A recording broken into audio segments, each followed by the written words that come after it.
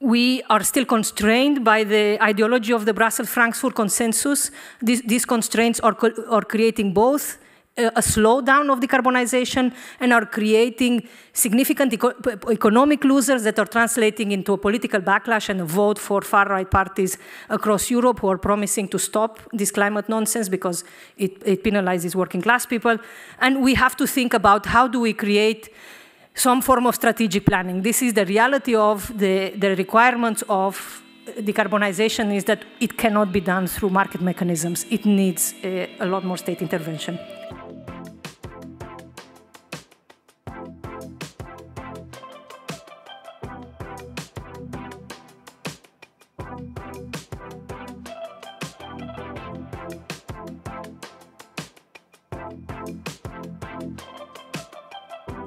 Good evening, and uh, let me um, let me start with a particular word of welcome for um, for uh, to to Joan and Annemarie Muysken who are here, and in which uh, and we are going to celebrate uh, Joan's work today. So so I'm very glad that you're both here, and also to the speaker of this evening, Professor Daniela Gabor.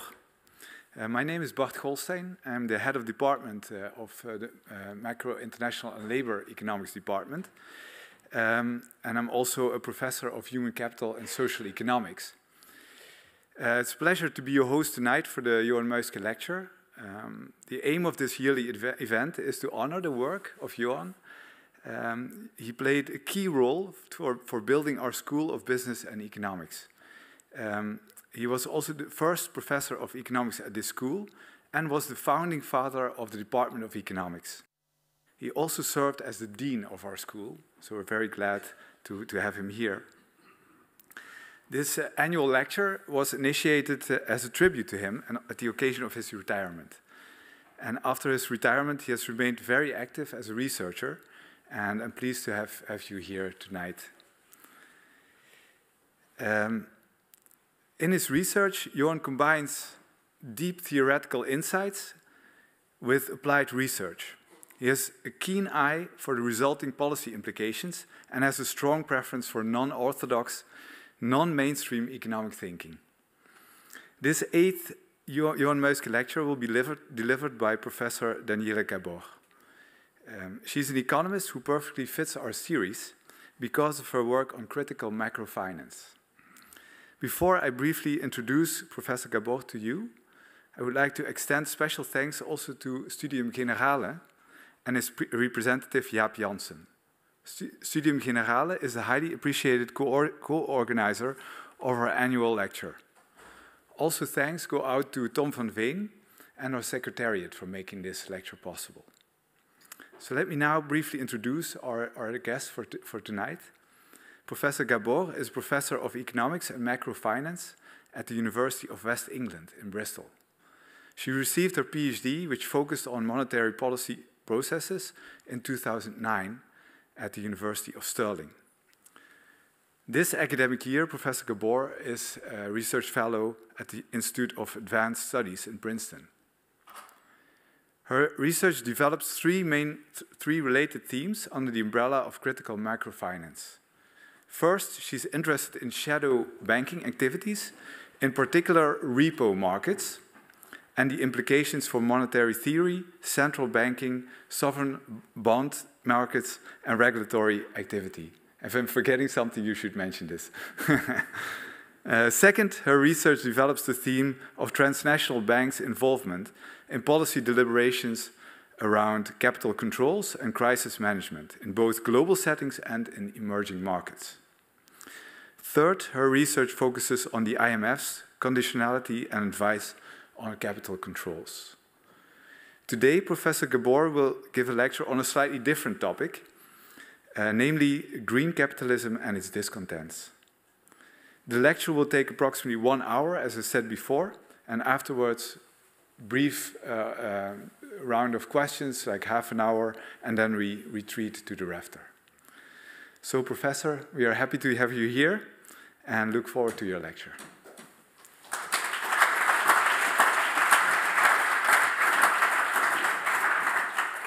Thank you. As you can see, this podium was for me. I'm little. Let me start by thanking the organizers. Um, it is a great honor to be here, and it, uh, it's a great honor to celebrate the institutional and, and uh, intellectual contributions uh, of Jan. Um, I am going to talk to you about work that I've been doing over the last three to four years that looks at the ways in which uh, we have to think about um, decarbonization strategies and about um, um, the role of the state in, in this process. Um, I will probably dis not disappoint you by not talking about repo markets. Uh, they're very technical and there is a very interesting political economy behind them, but uh, it would come with balance sheets. And I think this is the, one of the first times when I don't draw assets and liabilities for a presentation. So um, I was told that the audience is broad, um, so I'm, I'm going to try to keep my remarks as as um, um, accessible as possible. Um, I hope to get questions at the end for, for clarification. I'm going to be a little bit provocative in that, in that spirit to stimulate some debate. Um, please take it in that, uh, my, my remarks in that sense. And I want to start by checking if the PowerPoint works, which it does. I want to start by mapping out uh, very briefly where we are, in my view, in uh, climate politics I don't know how well you can see, um, hopefully well enough. Um, in 2023, um, as uh, the United Nations recent report tells us that we are unfortunately on the pathway to three uh, degrees Celsius global warming rather than the Paris commitments to, to two, uh, two Celsius uh, we are seeing uh, very rapid progress in some parts of the world in the adoption of um, renewable energies and in the creation of renewable energy uh, capacity, much faster uh, in China, which is uh, than um, the European Union um, in terms of pace uh, or, and, and, volume, or the United States. What is also remarkable and interesting, I will, I will talk about this in Later on, what is interesting is that China is also picking up very rapidly uh, um, production capacity and export markets in electric vehicles, in cars. You'll see that vertical red line there, um, quite remarkable and quite scary from, for some European Union countries. Um, as we speak, um, lots of uh, climate activists and national governments are going to COP28, and Larry Fink, who's important part of my story, Larry, Larry Fink is uh, the CEO of BlackRock, the world's largest asset manager. Um, he, uh, Bloomberg tells us, he's coming back to COP28 after he snubbed COP27 in Egypt. He was there uh, in, in uh, Scotland at COP26. So uh, private finance is returning in very, with, in, in very significant um, scale to uh, climate negotiations and the United States, uh, after uh, a period during the presidency of uh, Donald Trump, where it was a basically a non-actor in, in, international climate politics, uh, has, with the Inflation Reduction Act in 2022, uh, introduced what is uh, known to be as the, the largest climate bill in the, the, history of the United States. At, at least this is how Elizabeth Warren describes it. Uh, and uh, supporters of the Biden administration are saying, look at that vertical line. Uh, investment in manufacturing is picking up again after a long period of deindustrialization in the, in the United States. So lots of things are, are moving um, outside the European Union.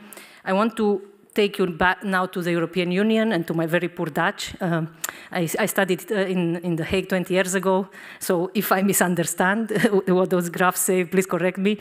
Uh, but what we, we know and we see not just in, in the Netherlands, but in other European countries, is that climate uh, issues that were very, very prominent to uh, uh, that were very prominent and constituted a very important source of political pressure, they are a little bit on the uh, back foot now for reasons that I will uh, elaborate in a second.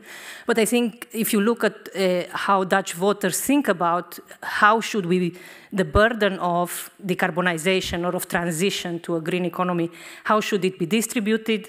If my Dutch is correct, they think the, the largest or the broadest shoulders should bear it, and those broader shoulders should be businesses or private capital, the governments, consumers, um, and some of them think the European Union as well. Uh, what is also remarkable at this particular conjuncture in the European Union is what uh, the Financial Times uh, editorial yesterday described as an overzealous debt brake. Basically, German uh, fiscal policy is in, is in chaos. It's threatening their uh, decarbonization strategy. And of course, it has very important implications at European level because the, Germany has very particular fiscal preferences um, uh, that basically entrench uh, austerity and create or reduce uh, fiscal space for um, decarbonization. So, how do we think about all these kind of disparate uh, dynamics with the European Union's ambitious green policies on, on the back foot, with the US and China uh, engaged in what, what many describe as great power geopolitic, uh, geopolitical struggles. Um, my uh, suggestion is we should go back to um, the distinguished non-orthodox, non-mainstream economists that we're celebrating today. Uh, and in a, thousand, uh, in a 2004 paper that he co-wrote with uh, Bill Mitchell, um, he described a Br Brussels-Frankfurt consensus, and there is a very long quote there um, that you, I'm, I'm, not going to read it to you, but the basic uh, understanding of that quote was, is probably familiar to most students of European Union uh, macroeconomic policy.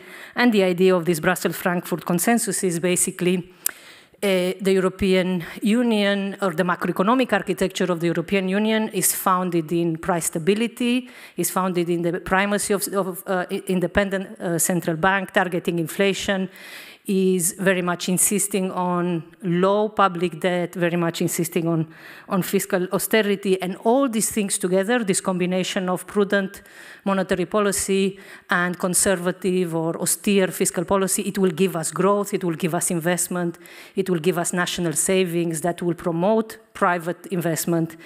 Um, it's a great story of the, the, the, state doesn't have to do very much besides maintaining the important role of price signals, allowing price signals to move to, to um, uh, create conditions for markets to optimally allocate resources, right?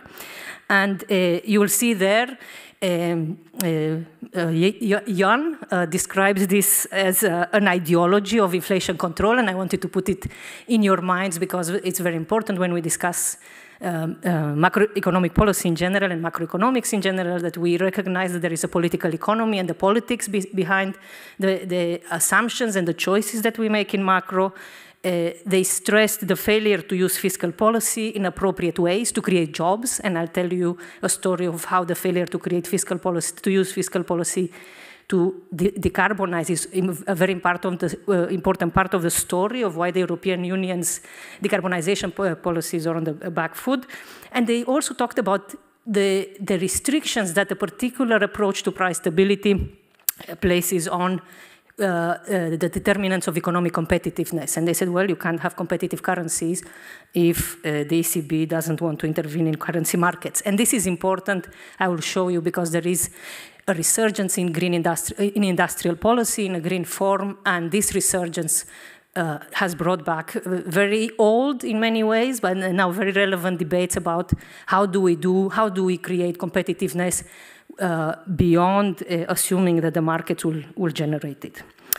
So um, I want to make three arguments today, building on this um, uh, Muysken critique of the Brussels-Frankfurt uh, consensus, and the first one is that green capitalism, as we have it at the moment, is a macro financial issue. When we think about decarbonization, we have to think about the combinations of macroeconomic policy institutions and, uh, and financial um, system that we have, because that in general because money and, and credit are very important strategic institutions of capitalism and they dictate uh, or they create the conditions for particular economic uh, trajectories.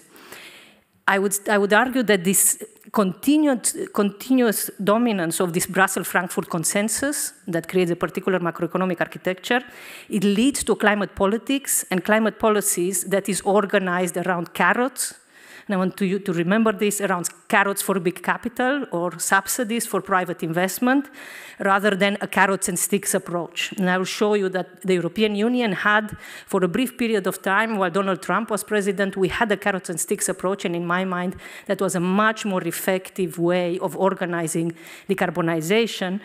And it was more effective because we have to, if we assume, if we accept to me what is a, a, very clear, compelling argument that decarbonization requires massive structural transformation of our economies, we can't only rely on bribing private companies to, to take us into the right place. And I want to talk about this. The, the, you will see that this new relationship uh, between uh, the, the state and the creation of these subsidies, this new relationship between the state and, and capital is, is, described as de-risking. This is not my term, this is the term that the European Commission is using, that the United States government is use, using, that Bidenomics is using. And there are two main uh, critiques or two main sets of discontents that this um, approach to decarbonization creates. The first one is that it's too slow, particularly for the European Union under the uh, Brussels-Frankfurt consensus. We, we basically can't compete with, with great power, in great power politics. It's also too unjust in the sense that it creates uh, losers, it creates um, political polarization and it leads to an anti-climate politics that is basically slowing down uh, uh, or reducing the possibilities for governments to push ahead with um, um, ambitious climate policies. And I think the Netherlands is, a, is an excellent example of this argument. Um, I've read about, about it. I'm very happy to, to, to um, develop it and, and maybe learn from you. And the more provocative one, um, is the final point that we can't do just transitions. In other words, we can't do transitions that do not penalize or that, that do not have regressive distributional politics. We can't do them without strategic planning and without the state taking a very significant share of economic activity uh, on its balance sheet, uh, and not just economic activity, but uh, um, green infrastructure. So how do, how do we update this critique of the um, Brussels-Frankfurt consensus? I've been working with several other colleagues on a theoretical framework called critical macrofinance. Um, and what critical macrofinance does, it takes insights from post-Keynesianism, particularly Hyman Minsky, but and several others, to argue that, uh, or to explore the way in which changes in private finance are go, go hand in hand with changes in the macroeconomic institutions of the state. That is, uh, there, are, there is a coevolution of the state, and that coevolution, when we think about it, and I'll show you in a second what it means in terms of pressures on the state to do economic policy differently, macroeconomic policy, both uh, fiscal and monetary policy. The, the, the, the, path of that changes is political, and that's where the critical comes in, in the sense that, that the pathway uh, is produced through political and ideological struggle, and this is why I was um, highlighting the idea uh, uh, of the ideology of price stability because it reminds us that economic policy choices and macroeconomic policy choices are very hard political uh, choices that are uh, uh, shaped by political struggle. Now, uh, there are several pillars of the critical macrofinance approach. I won't discuss the money part, um, innovations in forms of money, because they're not necessarily relevant here. But the, the, the single most important change in, in, financial system that we have had over the past few decades is a global shift towards market-based finance, where institutional capital, and I'll show you in a second what I mean by that, institutional capital becomes increasingly larger and increasingly important in the allocation of credit flows across economies. And there are several authors who have worked on it. Um, a good way to think about it is to look, compare the existing stock of bank credit to the assets managed by institutional capital. And what you see there, for example, Netherlands, is now at 400% of GDP, institutional capital. And when we think about institutional capital, we think about uh, pension funds, insurance companies, sovereign wealth funds, uh, high net worth individuals that are organizing their assets by allocating funds to, you see here for, for Netherlands, for example, to bonds, equity, cash and um, deposits, to private equity funds, and several other uh, financial institutions. And the, the, the, very important and rapid growth, and I, I, will ask you to ignore here Luxembourg and Ireland because they are, uh, for many purposes, tax havens, but we see the same pattern across high-income countries, both in Europe and the United States, and they reflect the withdrawal of the welfare state. They reflect the transition in the way that we organize uh, uh the, the, societal contract away from the state providing public um, goods against future uncertainty, like health, like, like um, uh, uh, retirement, a move from the state towards the market. So you have very significant uh, pension funds um, or very, very large uh, pools of, um, insurance, of insurance companies. Now, why does this matter? Very briefly, and, and I'll, I'll, I'll, elaborate more on this in the future. Um, this glut of institutional capital um, that is grow, has grown very rapidly, and it has grown very rapidly on the back of the withdrawal of the welfare state, but also on the back of increasingly large shadow banking activity and aggressive risk-taking and leveraging in shadow banking. Um, we have seen very significant changes in the nature of the state uh, um, institutions or in the, in the uh, policies that uh, state institutions have been undertaking recently. And I, I describe this as the rise of the, de de-risking state. In other words, uh, market-based finance creates new forms of financial instability. Uh, if you think about the collapse of Lehman Brothers and the run on the repo market, it, it creates new demands for stabilizing um, repo-based finance. It, it, creates very important and politically controversial demands for central banks to intervene in government bond markets, and that's why we had quantitative easing, and I'll show you in a second, that's why we had the ECB doing what we call market maker of last resort. And for the decarbonization story, the rise of these very large institutional uh, capital pools that require new assets to generate uh, uh, cash flows and to generate profits it creates a new uh, pressure, structural pressures on the state to create new asset classes like green asset classes like housing, education, nature, to fill this portfolio glut. So the state uh, views under the uh, the state views these existing pools of institutional capital as a very significant uh, um, uh, source of credit that can be tapped for um, uh, decarbonization policies.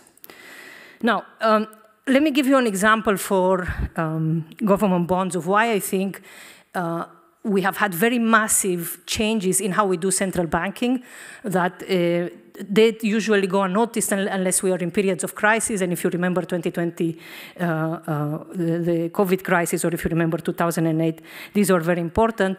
What central banks do, besides moving interest rates, which is a, a standard story, we have uh, independent central banks under the ideology of price stability that in theory should prevent them from undertaking large interventions in government bond markets. They have done so on a very massive scale, not because we are returning to some Keynesian paradigm of fixing uh, sovereign bond prices, of subordinating monetary policy to fiscal policy, but because financial stability requirements mean, mean that central banks have to make government bonds or to preserve their investability. In other words, they have to preserve their uh, function as a, as a safe asset in the financial system. Uh, and I call this monetary de-risking in the sense that we are seeing, we have seen over the past 15 years, very significant shifts in the way that central banks do monetary policy, particularly in unconventional times, through what we call market maker of last resort function. And if you remember the debates around Christine Lagarde saying that we are not here to target uh, or to close spreads uh, in 2020 when we all worried that that would mean a sovereign bond crisis again or sovereign bond pressures in, in the Italian government bond market.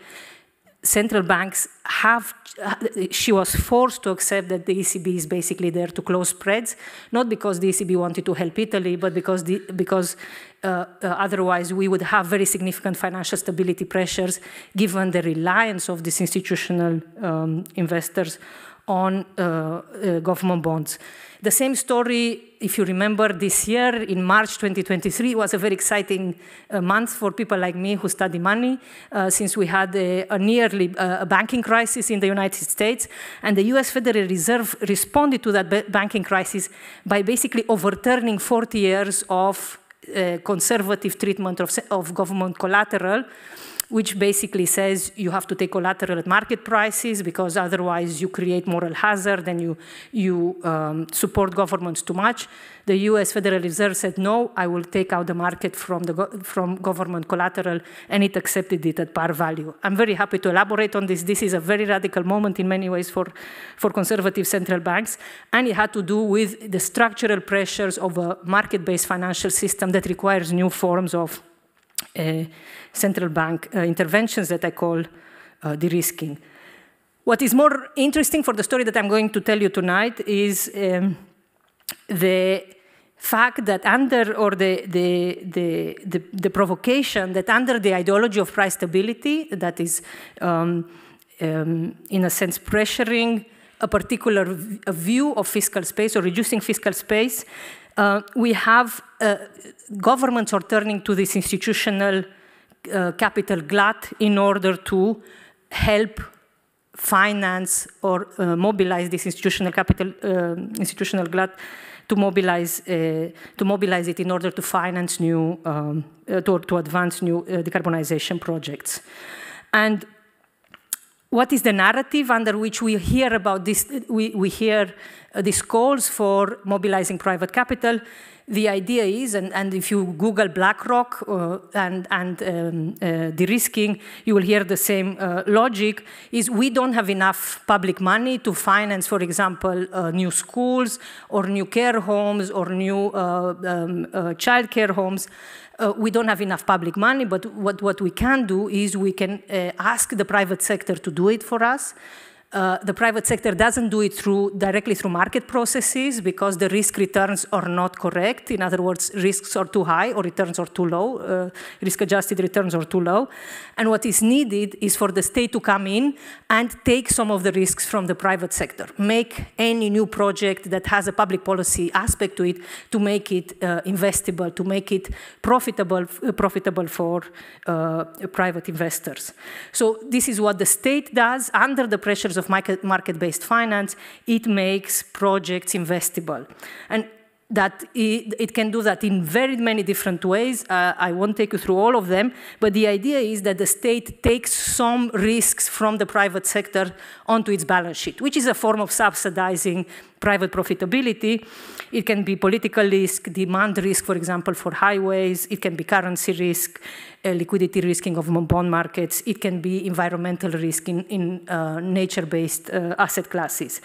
And what this does fundamentally it is a form of both privatizing public goods and subsidizing the private sector who are the owners of this uh, or the operators of this uh, privatized uh, public goods because making projects investable means creating predictable cash flows for housing, schools, for water, for renewable energy, for the debates we have currently on green hydrogen in the European Union, um, for nature uh, as an asset class.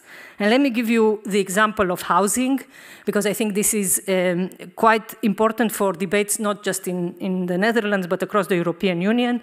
Uh, in a recent report we've done for the European Parliament, which I hope you can, you can see there, we map the ways in which uh, uh institutional investors or institutional landlords that are pension funds, insurance companies, sovereign wealth funds, uh, and other asset managers, the ways in which they could, can become institutional landlords. That is, that they can uh, uh, receive either direct, be direct owners of housing or they can receive um, uh, the cash flows from financial instruments issued to finance this. And we, that goes both for private ownership, because the mortgages that are created uh, uh, for private ownership can uh, be securitized or bonds can be issued, and those, uh, um, the, those bonds end up in institutional portfolios, It can be through private equity, uh, for example, in resi uh, residential mortgage funds or uh, residential uh, or, or, larger real estate funds.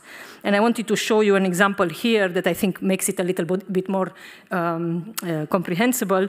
Uh, if we look, for example, at the distribution of housing assets in institutional portfolios, you will see that Amsterdam is the second largest. This is 2021 numbers. It's very difficult to get this, these figures uh, because they are not reported. There are not many statistics on it. This is a project done by several uh, civil society organizations in, in Europe. Uh, and we we did the report for the uh, Green Group in the European Parliament by using uh, um, data from a private provider called Preqin. And what you see here, for example, in Amsterdam, uh, private uh, or institutional landlords hold together around 23.4 billion in um, residential housing. Um, and the largest um, institutional landlord in, in uh, Europe, in Amsterdam, and, and, also Berlin, is Blackstone, a large private equity uh, company based in the United States that uh, is running or is, is, uh, is owns housing through a private equity fund. And you will see here, and, and, this is an important part of the story that I'm telling, you will see that behind Blackstone uh, are several pen, uh, public pension funds from the United States. To put it differently, the large demand from institutional capital for profitable placements, for profitable asset classes, is basically leading to um, the increasing financialization, if you want, of, of housing or the increasingly large footprint of institutional investors in uh, housing across large European capitals.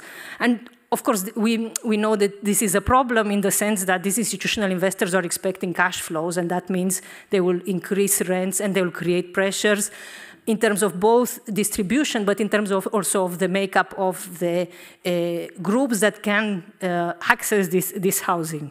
And in the United States, we have very good evidence that is basically pushing out uh, minority groups from, uh, from uh, housing areas and, and turning them whiter and whiter. And I, I wanted to show you that uh, the Dutch pension funds are very important parts of this story because Dutch pension funds are, this is the, uh, the ABP is the, I think is the education and something, and government pension fund. They make very significant allocations to, to uh, real estate. And so our pension funds, my pension fund in the United Kingdom is the same, they are contributing to the push for um, the state to create uh, asset classes that generate predictable cash flows. In other words, to, to the privatization of, of housing and other public goods. And in, in that report, we, we show in detail the ways in which the state is making it easier for institutional landlords to get larger shares of our housing stock through what we call regulatory de-risking, which is making easier for um, financial institutions to hold um, uh, financial instruments that are uh, uh, related to housing asset classes, through fiscal de-risking. This is basically, uh, there are tax incentives that governments are giving for institutional landlords like Blackstone to buy more uh, housing. And the, the, European Central Bank can do the same by providing very special treatment for um, mortgage-backed securities issued, uh, issued by these institutional landlords in order to increase their uh, portfolio of, of housing. Okay, so this is, this is an important part of, of the story in the sense that what we have seen in the political economy of the, uh, of the European Union over the past decades, with the growing importance of institutional cash pools, we have seen the state making it, or uh, reducing the, the social contract with its citizens that included housing for a very long time, and making it easier for institutional landlords um, to uh, become important uh, providers of in many ways, very restrictive uh, housing. Now, how does this matter for my story about uh, green capitalism? Well, it matters because the same dynamics of the state subsidizing private investors to deliver on public policy priorities, the same dynamic we can observe in uh, the decarbonization agenda. And I want to spend the next mm, 20 minutes um, 15 minutes in describing what I would call a North Atlantic convergence to a market led, state subsidized climate politics, where the state is increasingly reliant on private finance and also private capital to uh, decarbonize with what I would argue very, not very uh, impressive uh, either material results or distributional uh, politics. And let me start by reminding you uh, or, or noticing that after the global financial crisis and with increasing um, pressure of organized climate groups and climate activism, Fridays for Future is a very good example, we had European politicians from across the political spectrum recognizing that uh, climate is a serious issue that requires a very significant um, uh, structural transformation and state intervention beyond carbon prices, right? The standard uh, uh, response, particularly from conservative groups, used to be, if only we raise carbon prices, the market would do its job because price signals would be better, the externalities of climate would be internalized, we don't need to do anything else.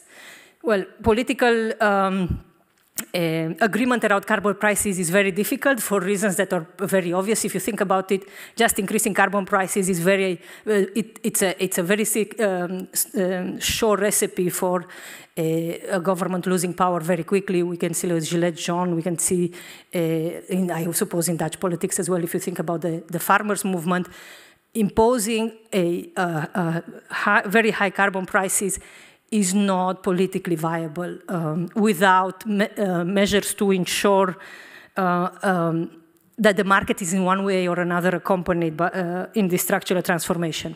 So what we have had in the European Union since 2015 roughly is a European Green Deal.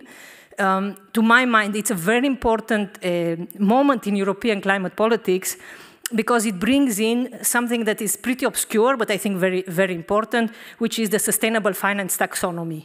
I, I used to go to Brussels for meetings uh, on the sustainable finance taxonomy, and there used to be rooms of a thousand people uh, listening to European Commission, and the, usually uh, uh, President Macron from France would come because France had a particular interest in this. And out of these thousand people, 850 were finance lobbyists who were really, really worried about the fact that the European Union was starting to think about a system to uh, not only encourage green finance or in, uh, investment in green activities, but to penalize uh, dirty activities to penalize carbon fi financiers. This is, I think, uh, it's important, and we saw it not in, only in the sustainable finance taxonomy, which was negotiated through a very long political process, and it ended up in, a, in for many climate activists in a very uh, problematic place. Um, so we had a sustainable finance taxonomy that says, well, we need to identify which activities are green, and then once we identify that, then we create a, a, regulatory framework around um, the financial flows that are supporting these green activities, but we also had a dirty taxonomy as a plan. It's never happened. It was, the European Council did ask for it, but the European Commission finally, uh, well, uh, I think the consensus in, in the European Commission among technocrats who wanted this dirty taxonomy is that there is absolutely no political appetite for a dirty taxonomy anymore um, in, by 2022, 2023. And so this is important, and this is why there were so many finance lobbyists in, the, in, in Brussels, in the European Parliament, when the sustainable finance taxonomy was discussed. It's important because the European Union was prepared to put in place a, a comprehensive approach for, say, for saying if you lend to Shell, we will make it much more expensive for you. We will penalize you if you lend to Shell, if you're BlackRock or if you're uh, ABN AMRO or, or whatever European bank, we will have to make it more expensive for you uh, to do this because that's a way of redirecting financial frauds and credit activity from dirty to green. And you will see in a second that this is in many ways probably the most ambitious uh, plan to, to redirect financial flows that we've had uh, in uh, North Atlantic countries. My, the other important uh, heroes of the story, and I'm saying this as a student of, of central banks, was the European Central Bank, who even before Madame Lagarde came uh, as a president. She is sometimes described as Madame Climate in a derogatory way. I'm, I'm, I'm not using it in that way. But uh, by two, 2018, Benoit Cœuré, who was uh, the uh, French member of the um, executive board, was arguing that while conservative critics do not recognize this, it, uh, climate is a, a, very important part, not a secondary objective, not within the secondary um, uh, mandate of the European Central Bank, but within the primary mandate. That is, if you wanted, if the central bank did price stability and was worried about price stability, it had to take measures to um, uh, decarbonize. Oh it had to take measures to decarbonize monetary policy. And that's important because it means to, to take measures to decarbonize the financial system and to decarbonize monetary policy, you don't need a change in mandate. You're already bound by the primary mandate of price stability, by the ideology of price stability. You're already bound to, do, uh, to decarbonize. And the next step in this, um, in this uh, transformation of the central bank towards a carrots and sticks approach came in 2021 when Isabel Schnabel, the German member, and it's very important for, the, for those who are familiar with the complicated uh, macro-financial politics of the European Union, it was important that he was the German member who said, yes, um, not only uh, that um, climate is a, is a primary mandate issue, a price stability issue, but very important, we already are our monetary policy uh, operations already have a carbon bias in them. Because, uh, and she argued well, we follow the principle of market neutrality in monetary policy, particularly in unconventional monetary policy. By following this principle of market neutrality, we basically, when we buy corporate bonds, we follow the existing stocks that are traded in the corporate bond market. So if the, if the bond market only trades shell bonds, the ECB only buys Shell. And of course, if the ECB only buys Shell, and I'm, I'm exaggerating a bit, but fossil fuel issuers are very important uh, um, in the corporate bond market, the ECB, based, by following market neutrality, was basically providing excessive subsidies to, um, to, uh, to um, fossil fuel companies and to, to uh, climate laggards uh, more generally. So the argument that Isabel Schnabel made was, well, we have to give up market neutrality one way or another, and we have to correct the carbon bias. And uh, I will show you later on that came with probably the most, one of the most innovative uh, measures to decarbonize monetary policy, which, was, uh, which is called tilting, uh, a, a, framework for the ECB to change credit flows, to penalize uh, dirty issuers, and to reward green issuers. And you will see this framework goes very, uh, takes a very important step in creating state capacity to um, discipline capital to reduce the systemic greenwashing in the, in the system. Unfortunately, this did not last very long. Uh, once the Biden, the Biden won the presidency, the Biden administration started its, its, climate work, what we see is a North Atlantic turn, turn, to carrots. In other words, we dropped the penalties on dirty capital, we only, we only keep the um, subsidies for, for green capital or for green investments. And here we, have, we start to see the use of the term de-risking more um, uh, uh, uh, more uh, systematically. This is from the World Bank, who first used it on a, on a, on a regular basis under its maximizing finance for development agenda. And the argument here is, or the question here is, how do I get Wall Street to finance my renewable revolution? How do I get Wall Street to finance an increase in renewable capacity? And the idea is, you de-risk projects, you de-risk sectors, you de-risk entire countries. In other words, you as a state, you have the responsibility of taking some risks for the private sector for these private investments to, to occur.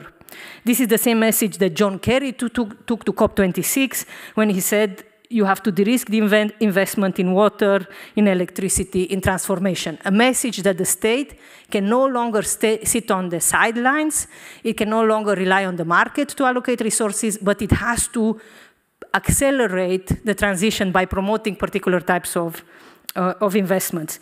It's the same message, incidentally, in the IPCC report, the, the, most recent one, and you see here somewhere where it says um, what we need to, to uh, reach our Paris Agreement goals uh, we need to uh, de-risk investments. The message of de-risking is very powerful, and I will show you in a second what this means in practice. What does it mean for how we do decarbonization? And I want to spend two minutes on, I don't know if it's too small, but I will translate it for you, the, the probably the most controversial in Europe um, economic policy initiative over the, the uh, past decades was the US Inflation Reduction Act in uh, 2022, uh, push, uh, passed by the Biden administration, which uh, very much has the logic of escorting private investment in green sectors, mostly by tax credits. That is, uh, in, in, this case here, for carbon-free energy investments, um, the US government gives tax credit, gives carrots to private investors of up to 70% of uh, uh, upfront investment costs. 70% is a very, very significant number.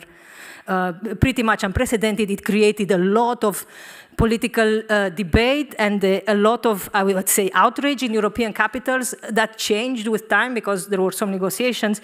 But and to get to 70%, the Biden administration said, well, we start with 6%, which is your, your rightful share, and then um, if you, for example, have um, uh, domestic content in your uh, private uh, uh, energy projects, we will give you up. We will give you an extra 10%. If you do it in special communities, you get another 10%. If you uh, do it in low-income uh, places, you get a 20%. And if you have, uh, and that's very important, prevailing wage and apprenticeship uh, rules, so if, you, if it's labor friendly, uh, which is, the, for example, what Tesla is not, but if it's labor friendly, you get an additional 24% tax credit. So it, it builds in all these carrots. It doesn't say you it, it, has to be labor friendly. You have to do it with unions. It says you can do it with unions or you can do it without unions. If you do it with unions, we will give you an additional 24% tax credit. So this is a system that is a, a, a green industrial policy that is designed to bribe private capital into uh, the policy priorities of the Biden administration. For example, this 24%, I spent a lot of time debating with Biden um, uh, economic, with uh, supporters of Biden, Biden, economics because they say this is a very progressive green industrial policy. It's progressive because, look, you get 24% uh, uh, tax credit if you uh, include friendly labor uh, provisions, but of course, that is completely at the latitude of the private investors. And, and actually, they didn't. most of them went into Republican states. Some people say by design. What matters here is that this is a de-risking strategy in the sense that unlike the traditional industrial policy in what we know to be the developmental state literature, where, for example, uh, Korea is a very good uh, case study of this. Alice Amsden wrote a, a, wonderful book about it. She argued that for the Korean uh, government to have the success that it had in industrial policy, it had to work with a combination of carrots and sticks. It had to reward good performers, uh, but also discipline bad performers, because it couldn't rely on market signals uh, to uh, to achieve its strategic priorities at, at, sectoral level. We don't have this in the uh, US uh, Inflation Reduction Act. There are no what Alice calls compulsive institutions to discipline private capital, to make sure that it stays on, on target and it stays aligned with the strategic priorities of the state. However, that doesn't mean that it's not at least initially successful. If you look here at uh, manufacturing investments by technology, those uh, numbers, rapidly increasing numbers are very impressive by, by US standards the, the costs, the fiscal costs of this de-risking are also very significant. Uh, this is estimates from um, uh, US um, uh, Congress um, uh, or body, and, and, it shows that by 2025, and of course all this now comes with the brackets of what will happen if Trump wins the elections. In theory, many people argue not much, but we, we will see. By 2025, there is an estimate that this tax credits, this fiscal de-risking for uh, private investments in uh, uh, green areas will reach almost 100 billion US uh, dollars, which is very significant uh, fiscal resources. Unfortunately, the European Union, when, when, was, when the European Union was confronted with this very massive fiscal subsidies for uh, industrial policy, first uh, responded by proposing a European sovereignty fund. This European sovereignty fund is very interesting uh, mostly because it doesn't exist anymore. It was a very short project of the European Commission. And the European, uh, the Thierry Breton last year, the Euro European uh, Commissioner for the Internal Market, who was in charge of designing what we now have as a European level net, uh, industrial policy called the Net Zero Industrial Act, he said, um, we need a fiscal, or, or we need fiscal capacity at European level to be able to match this, whatever it takes, fiscal spending that the US um, has um, uh, deployed. And um, because of the uh, intricacies of which countries in the European Union can afford, given the Brussels-Frankfurt consensus, which countries, even with a suspension of state aid, uh, can afford to actually provide fiscal subsidies, uh, and we know the answer is Germany and France, more or less. Uh, to avoid this intra-European Union competition, which is very damaging for the European uh, uh, spirit, we need to create this European Sovereignty Fund that will help de-risk investments in future technologies and industrial production capacities. So again, de-risking is a, a, standard discourse. This is the way in which European elites in Brussels are thinking about how to do industrial policy. Unfortunately, um, uh, we, for, for uh, lots of reasons that have to do with uh, the level of public debt to GDP and the, the ideology of price stability in the European Union, uh, this European Sovereignty Fund never actually kicked off the ground, and, and it's now dead, and um, or it's, it's much smaller. Now, why does this uh, matter? Well, because if we compare um, the European Union Green Industrial um, uh, Plan with the US Inflation Reduction Act, what we see is a very, they are similar in the logic of what is the new relationship between state and, and private capital that will dr drive this uh, green capitalism in the sense that it uses more or less the same instruments, only the scale uh, is different. Um, there are um, no instruments to make sure that the recipients of state subsidies will continue with their plans for uh, investment to keep us on a track to, to Paris or on a, on a track to 2 degrees Celsius. The only mechanism for discipline that I've heard of, uh, it's, it's, in my view very controversial, it's in the view of many climate activists also very controversial, is carbon capture and storage, the idea that eventually you will force polluters to basically uh, pay for carbon capture and storage, and that will become a market mechanism to reduce uh, um, uh, CO2 emissions or to reduce uh, the carbon footprint of, of their operation. And I just wanted to, to uh, compare this with the, Europe with the US CHIPS Act, the other part of uh, industrial policy that was revived in the United States for reasons of national security. Uh, and this is uh, directed at improving the semiconductor manufacturing capacity of the United States uh, given geopolitical competition with China. And what you see there in the US CHIPS Act is a state that is much more willing to tell capital what to do, to tell private companies, you need to do this and that. You cannot, for example, uh, you cannot do uh, share buybacks, which is uh, uh, an endemic problem in um, um, contemporary capitalism, uh, we will monitor, we will make sure that your investments are the kind of investments we, we want with prior due diligence. There will be milestones, a whole institutional apparatus to make sure that semiconductor investment is aligned with the national security priorities of the, uh, of the United States. And that to me is an important part of how we should think about decarbonization in general because it, it kind of reveals the extent to which the state, when it is driven by political coalitions where fiscal hawks are not so important, but geopolitical hawks accept that fiscal policy needs to, uh, and in general, the state needs to be more robust, then what we get is a much more uh, robust or, or a much more more elaborate uh, uh, institutional mechanism for ensuring that private businesses deliver on uh, the strategic priorities of the state.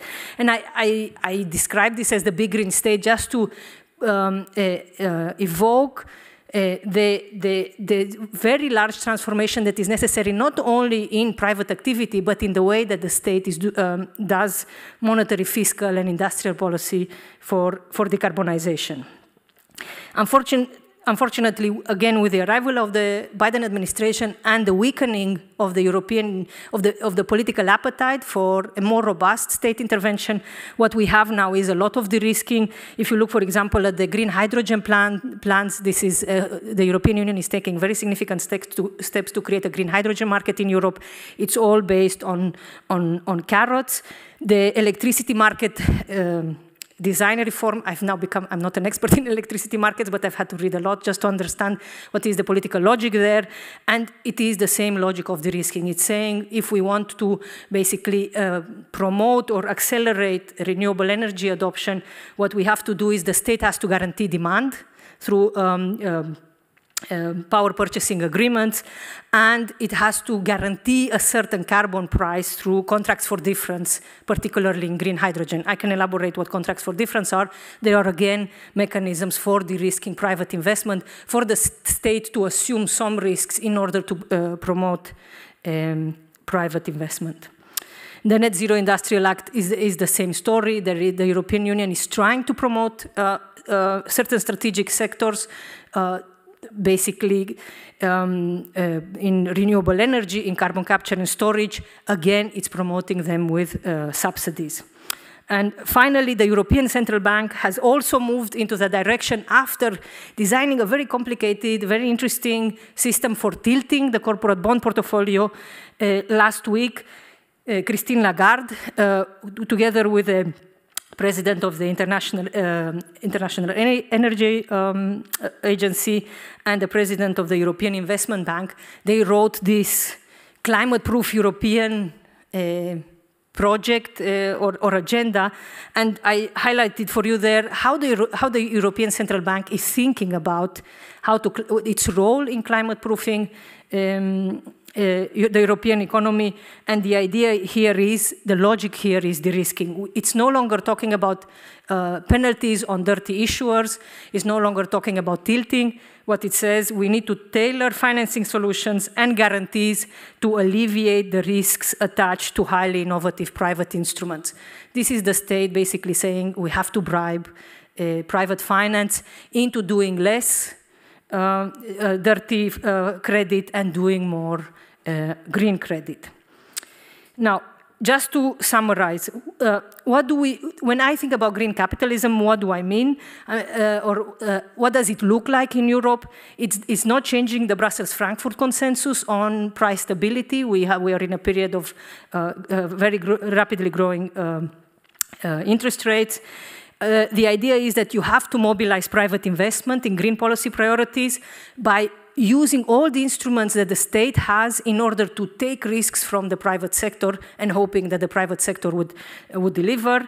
There is no massive public investment in public green infrastructure or industries. This is not a state that increases its footprint in economic activity to help the reallocation of resources. Uh, it's a state that doesn't use sticks, it only uses carrots. Now, why is this a problem? I mean, most of us in the room might think, well, maybe this is exactly what we need to do. Why shouldn't the state help private companies do better? Why shouldn't the state, I mean, some of us in the room uh, have some Keynesian origins, why shouldn't the state activate private investment uh, and allow the market, once it, the state activated, and allow the market to, to do its magic and uh, give us decarbonization?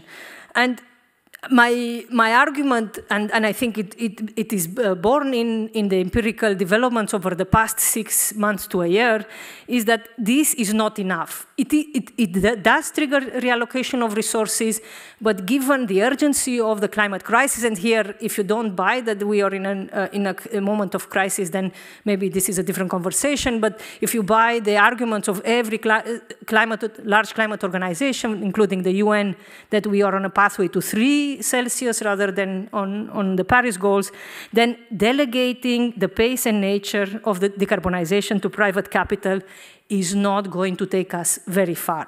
And there are three reasons for this. The first one is that we know there is systemic greenwashing. In other words, when costs are significant, uh, private finance likes to pretend that it's greener than it is. This is, this is absolutely not controversial. The European Union's um, sustainable finance agenda was based in reducing greenwashing. It hasn't done a lot of it, but it's not a controversial idea. The second, and this is relevant for the European project, it strains intra-European relationships simply because only relying on the fiscal capacity of the state uh, means that uh, you're forcing countries in the European periphery that have less fiscal capacity to do less of green industrial policy, and you're basically saying, well, you know, in the end, if only, well, Germany, I used to say if only Germany, but Germany with its debt brake now has broken my argument. If only France uh, uses its, the suspension of state aid, well, that's very unfair, because why should all green industrial policy benefits go to only one country? We have been through the European sovereign debt crisis we know how bad it is uh, when these uh, intra-European uh, tensions get high. I think probably the most important one, so leaving aside the, the questions of, of intra-European strains, is that this reliance on steering the price signal, because this is what the de-risking does, it steers the price signal into a direction of, of, that the state desires. It says, I will make it more profitable for you to invest in these strategic sectors. Here are the carrots, please take them if you want, if you don't, uh, that's fine. The problem is that the, the price signal in green markets is not only determined by the risking activities, but it comes from different sorts of pressures, right? So for example, monetary tightening can, or higher interest rates, higher costs of financing can disrupt these attempts of the state to channel uh, uh, inv private investment into, into green activities.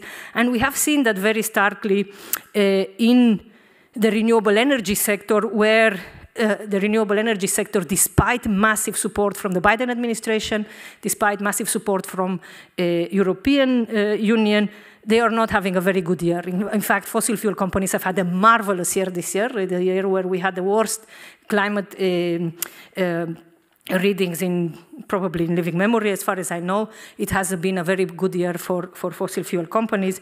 As you see here, the S&P Global Clean Energy Index is tanking quite, quite uh, significantly. And we also know that this, the, the, the market mechanisms to de-risk private investment are not working. In other words, uh, UK offshore wind development, uh, the auctions for the state to give subsidies to private investors are failing because they are arguing the pri prices are too low. And what we get is a green capital strike, as my friends from the Commonwealth argue it, where private investors are saying, well, you have to give us higher returns, otherwise we won't invest. So you have a little bit of a, a bargain there, uh, a strategic game where the state dedicates more and more resources to, to de-risking.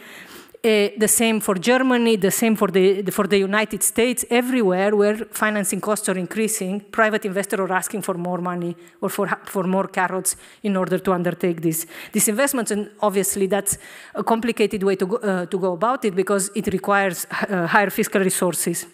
We also know that it's not just about renewable energy capacity, but also the strategic sectors that the US is targeting with its green industrial policy. They're not doing very well either.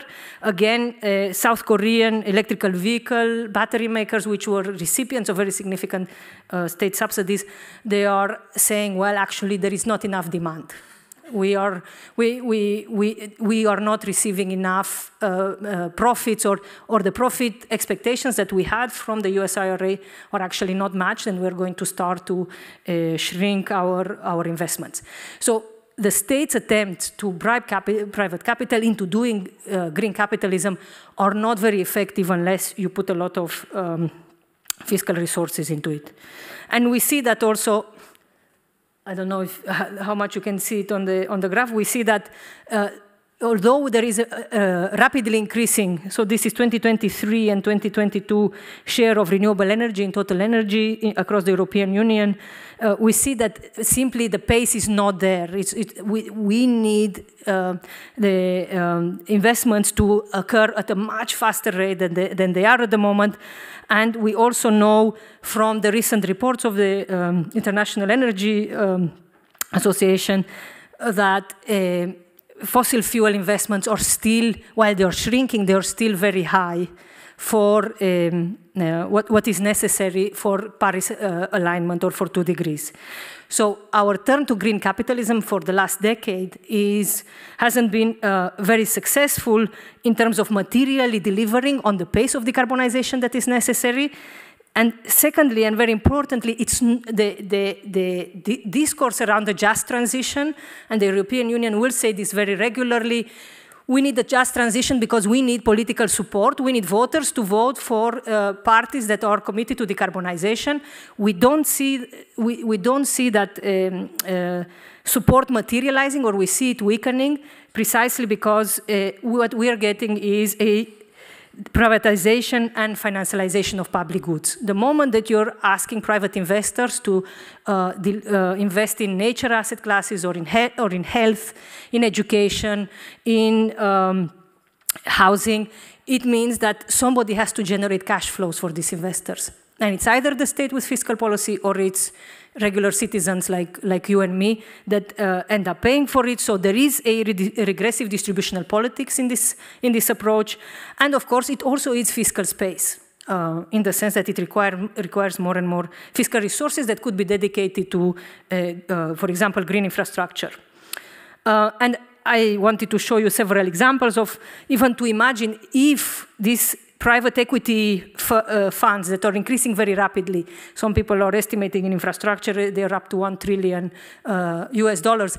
If they actually uh, got hold of our public infrastructure, it would mean more and more de facto privatization of, of a range of, of public goods. And we know, for example, from looking at health, and I, gave, I have several examples here of uh, privatized healthcare, that is basically becoming much more uh, expensive for, um, for uh, regular citizens. Um, and now that I live in the United States, I also understand what, it mean, what this means in practice. I have not actually gone to the doctor yet. Whatever happens to me, I promised I will go back to the UK because you never. I, I, I there are 150 pages of instructions of where do I need to go and what do I need to do in order to, um, I don't know, have a tooth extracted. And this is where we're going with this logic of uh, um, health asset classes, or uh, this is where this is the direction that we're going in. And if we're not going into that di the direction, and we probably will see this in Germany, where we're going is into what uh, uh, with Isabella Weber, who you probably know from her debates around China and her debates around price controls. We describe this as carbon shock therapy. You can read it in the Financial Times Alphaville. It's, it, uh, it's one of the best places to get free news on finance, and we call this carbon shock therapy the, uh, to capture the possibility, which to me is very real, that governments who cannot do de-risking because of the Brussels-Frankfurt consensus, because of the absence of fiscal space, what they will say is, you know what, let the market work. In other words, if relative prices change, if China is, is if there is a China shock in green uh, industries, for example, for, uh, for the German car industry, well, that's it. This is how the market work. Let, let shock therapy work through. Argentina is getting it. I grew up with shock therapy in Romania. This creates disorderly transitions. This is very important because disorderly transitions are very regressive in terms of distributional politics. Uh, it's, uh, it affects the uh, uh people at the lower uh, part of the income distribution through joblessness and again through very significant austerity. Um, I, I don't have a, I don't know, I, I don't know what time it is. How much time do I, where, where am I? oh, bloody hell. Why nobody stopped me? Anyways, very quickly. Uh, this is also bad. So distributional is not just complicated for, uh, for intra-European or intra-country distributional politics, but it also creates uh, patterns of neocolonial extractivism. Global South countries are unfortunately uh, um, uh, forced structurally into becoming generators of financial yield for my pension fund in the UK, but also importers of clean tech and, and green tech. So reproducing the same financial and structural dependency that we've had for a very long time, and which the Biden administration with its green industrial policy was supposed to put aside. I wanted to show you that this is very much the case of Indo Indonesia's just uh, energy transition plan. It's written by de-riskers. It has the logic of de-risking in there. Um, and I don't think it will trigger the kind of uh, resurgence of industrial policy that the Indonesian government thinks it will. Okay, two more minutes. what, what, can the, what can the big green state do? There are lots of things here that politically are very difficult, but I think we have to be realistic and dream the impossible. Uh, and, and this impossible says, under the conditions of great power competition in climate politics, because this is where we are now, we are in great power uh, politics competition, uh, where, where we have climate as a national security issue, then political coalitions will include uh, geopolitical hawks to support fiscal expansion in, in favor of climate. We, we can get the US, or we have seen the US scale up fiscal de-risking to crowd in private capital. There was a US uh, Inflation Reduction Act, and of course there are problems with it. It, it is also, it goes hand in hand with a lot of, uh, of uh, fossil fuel activity. It's, it could be threatened by the Biden re-election, but it's significantly more robust than a European Union Green Industrial Deal. Whereas, and while China, with Made in China 2025, a green industrial strategy, it really can scale or it can use its close control of, of credit flows to, to, strategic sectors to achieve the same things that the United States is trying to do with the, with the IRA. And I wanted to show you here how quickly credit to infrastructure shrank and credit to manufacturing sector increased within the scope of two years. Nobody has the capacity to do this without close state control over, over finance. And I want to suggest to you, and I'll, I'll, stop with this, I want to suggest to you that we still have, and we should, I don't want this to be a very bleak ending, we still have green revolutionaries and, in, uh, and pillars of state capacity in the European Union that can be reactivated that, and that we should work for. And I don't, don't know how many of you recognize that man, man there. Uh, well, I, I, can see some of you are nodding. This is Frank Elderson, the Dutch member of the executive board of the European Central Bank, who is very lonely these days because he is one of the few that still tries to do climate politics at the ECB. And he's very lonely because the, the push of conservative members against climate pol pol policies is very strong. And I think it's very strong because the ECB, with its tilting of corporate bond portfolio, has gone further than any central bank in the past 40 years to try to take control of credit flows in a way that, that creates state capacity to address directly corporate issuers. This is not the ECB telling banks, you shouldn't lend this much for mortgages because it creates a, a mortgage bubble.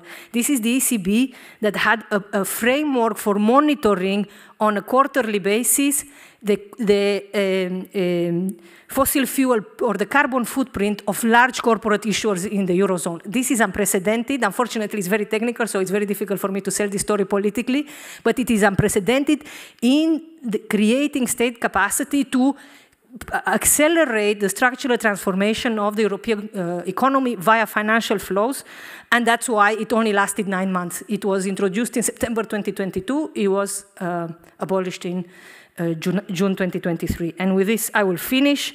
Um, we are still constrained by the ideology of the Brussels-Frankfurt consensus. These, these constraints are, are creating both a slowdown of decarbonization and are creating significant eco economic losers that are translating into a political backlash and a vote for far-right parties across Europe who are promising to stop this climate nonsense because it, it penalizes working class people.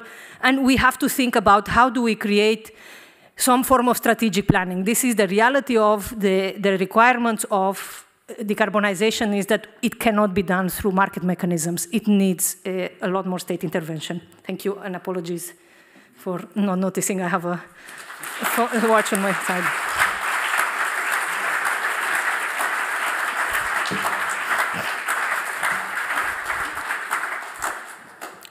Thank you so much, Professor Gabor, for this uh, eloquent lecture. I've learned a lot in in less, no, more than an hour. I never learned so much. Thank you. We have till 9.30 for the questions, so we do some, some very short questions and then we go for the drinks. Hi, thank you. Um, obviously, the climate crisis massively raises the stakes. Um, do, do you think the government should also use carrots and sticks in normal industrial policy? In normal? Yeah, from a from a critical perspective. I, you, by normal, you mean?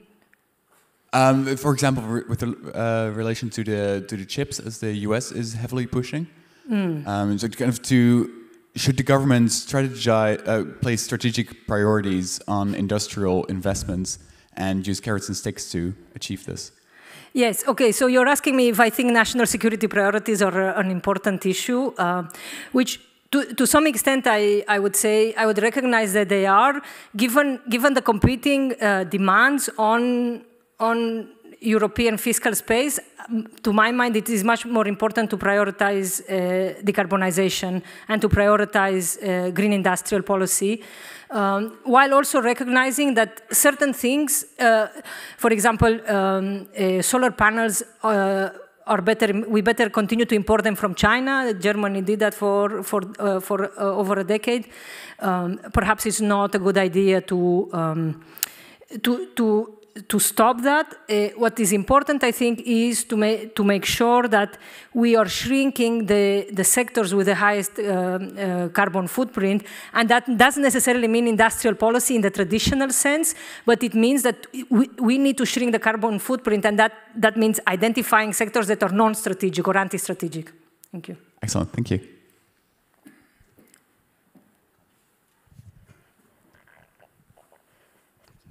Um, Hello.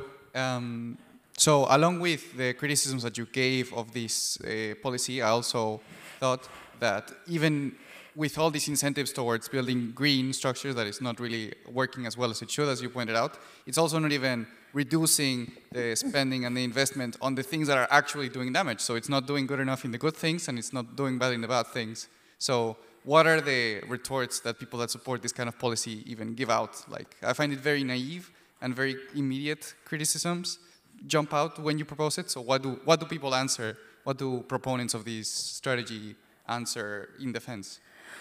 I think there are, thank you, there are three lines of, of answer. One is to say, uh, well, the European Union has carbon price, I mean, carbon prices are increasing. For, at least this is what green politicians told me in Berlin last week. Carbon prices are increasing. They will increase uh, faster in the future. Don't worry, we will get reallocation through carbon prices. The second is to say, well, uh, you, there is no fiscal space. We have to recognize the constraint, the fiscal constraints we have. We can't afford, uh, with, particularly in the Eurozone, to reproduce the dynamics of the Stability and Growth Pact. Uh, if you want, um, this is as good as, as we get, we have to mobilize private investment.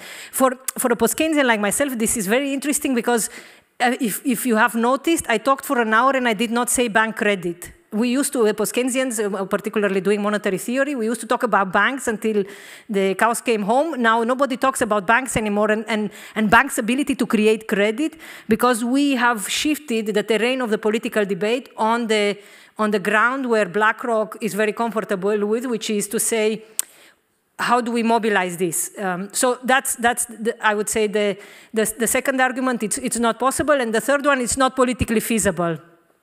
As in, we cannot convince social democratic parties, or the Linke in Germany would say, we cannot convince voters that our positive future of green public infrastructure where you can take a, a bus for free anywhere that is the, uh, the, where there are less cars. We cannot convince voters to, to approve of these plans. Therefore, we have to go with market-led mechanisms because that is where the, the, the democracy leads us. Whether you could think these are convincing arguments or not is a different question, but these are the, the kind of answers you get. And unfortunately, these are the kind of answers that are organizing European politics at the moment.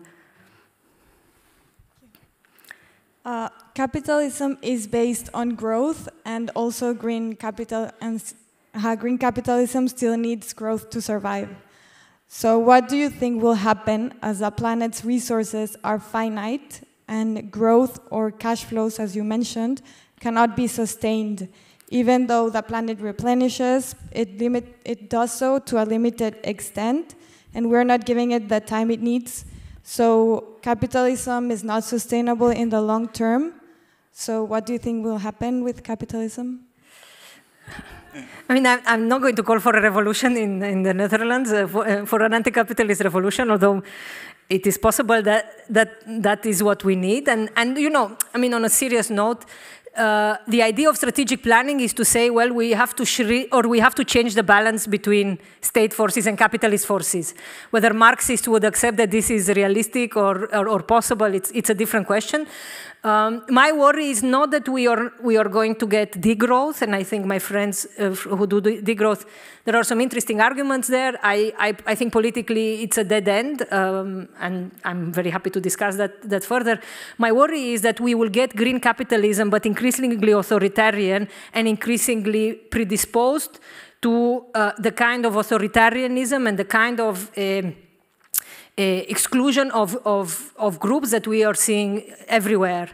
Um, so that, in a sense, it's not my worry is that we not that we we don't not that we get a. Uh, I mean, I don't know if my worry. I, I grew up in in, in, in communism in Romania, so I have my skepticisms there, and I have to reconcile myself with the possibility, with, or with the idea that I could, I could live in, in post-capitalism.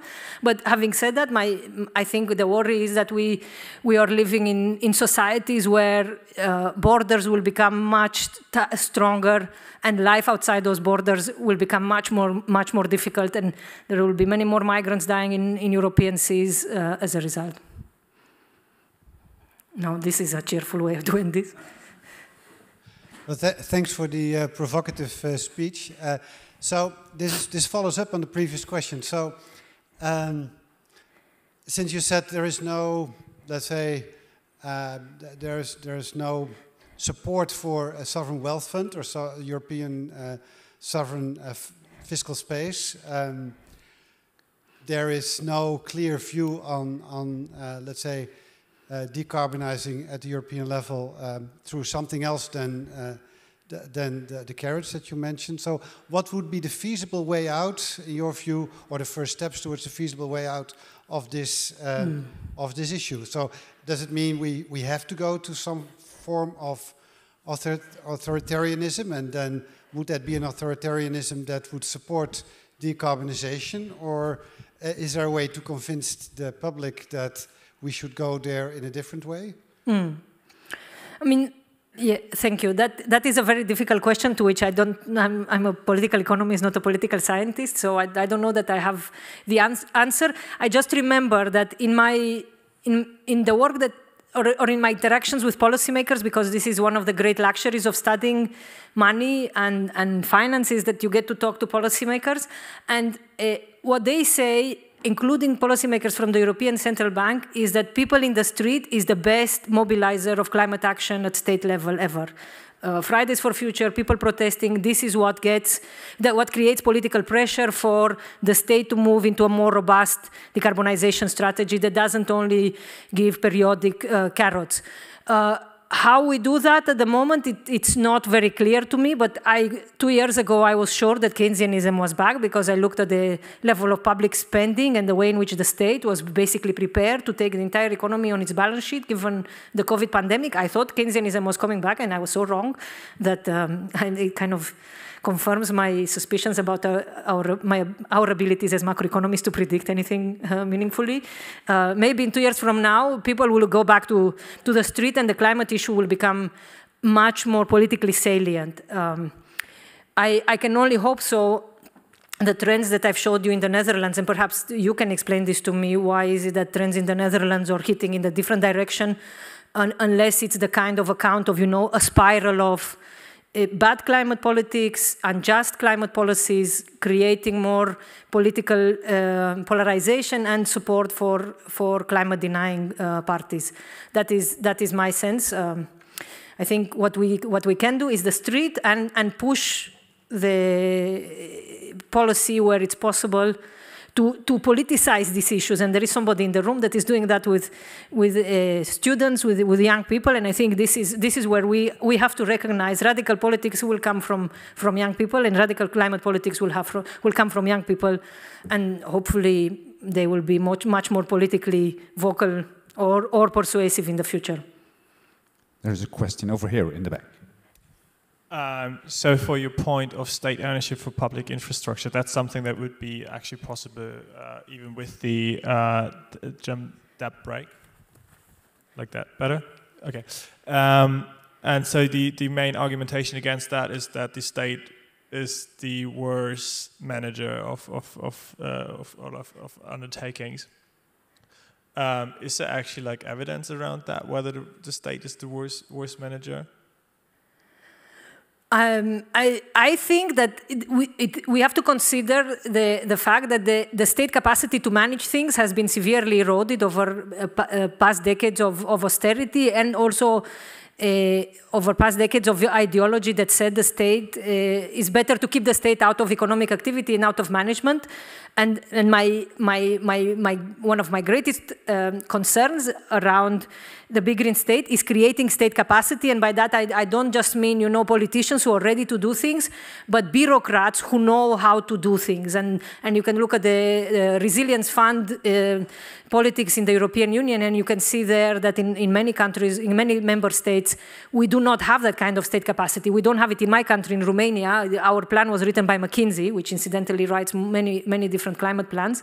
Uh, it was written by, by McKinsey because we have through decades of austerity, systematically eroded the capacity of, of the state and the incentives for, for clever people to work in state institutions and do po uh, policies properly and take care of state assets properly. Uh, it's, a, it's a political choice like austerity, it's a political choice. We can, we can build state capacity in the way that um, we can build all sorts of other things. I'm also, it's very clear from, from empirical evidence that private healthcare, I don't want to die in a, in a, in a private uh, home uh, run by private equity. It, I'd rather die in a state-owned one. Um, it's much better. Well, I would live longer. I don't know if I want to do that, but I would probably live longer. Thanks. So, uh, Daniela, uh, in your story, capital controls seem to be a cornerstone of what's needed. I'm, I'm a big fan, but uh, capital controls, although I think in the past they've proven to be super effective, are quite controversial these days, right? And they've mm -hmm. also been quite effectively uh, eradicated from a lot of uh, legal frameworks like WTO, but also EU internal market. Um, and to get that uh, straight, I think we uh, we need quite some time because those are very messy political processes. But could you tell us a bit more which capital controls are uh, eligible and possible these days within the EU context, but actually globally more? I would also be interested to hear your opinion uh, regarding all the WTO mm. membership areas. Is there something possible there that we can do now? So intra-European Union, at least intra-Eurozone, I don't think you need capital controls. You just need the ECB to, to basically reactivate the, the policies that it had in order to redirect financial flows across the, Euro, the, the Eurozone. It's not a question of capital controls. Where there is a question of capital controls, I mean, I, I'm, I'm thinking about the audience. I didn't spend a lot of time. I, I spent some of my time thinking about Global South dynamics and the Global South story here.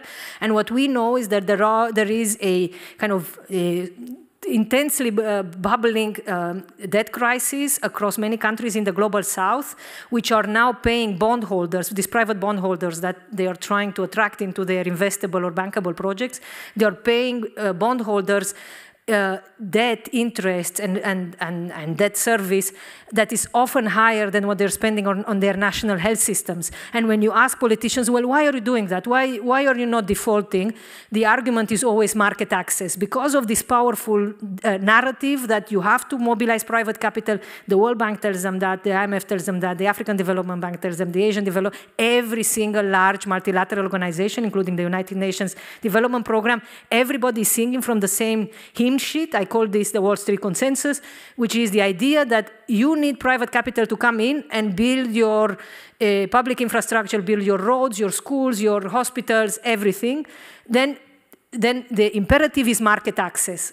And until we destroy the idea or we, we, we, we work against the, the, this powerful narrative of market access, uh, that says you have to pay 20, you pay 20% interest rate on, on dollar debt, it's fine, but tomorrow you will be able to borrow more to pay this 20%. And and of course, that goes hand in hand with destroying this Brussels Frankfurt consensus, however you want to call it. It is a consensus around monetary dominance that says the state can only target price stability and subordinate fiscal policy. And okay, if politicians are doing bad things, the bond market will punish them. So that is where, in, in a sense, your question is to me a macro financial question. We need to work on the level of ideas and we also need to work at the level of institutions. Capital controls were popular 10 years ago. The IMF was supporting them. Everybody, in theory, with, even within the W constraints, I think you can impose capital controls. We have many examples of that.